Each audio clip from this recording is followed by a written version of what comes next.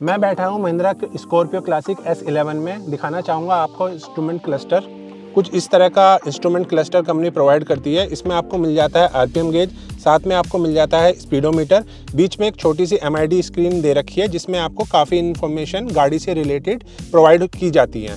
और साथ में अगर स्टेयरिंग की बात करें, इस तरह का कुछ स्टेयरिंग मिलता है। पियानो ग्लोसी ब्लैक का इसकी फिनिश दे रखी है। बीच में आपको महिंद्रा का लोगो मिल जाता है। काफ़ी इसमें ऑप्शन भी मिल जाते हैं, जैसे कि क्रूज़ कंट्रोल का ऑप्शन है, यहाँ पे कॉल कनेक्ट, डिसकनेक्ट कर सकते हैं। और ऐसे ही अमेजिंग शॉट्स के लिए बने रहिए हमारे चैनल से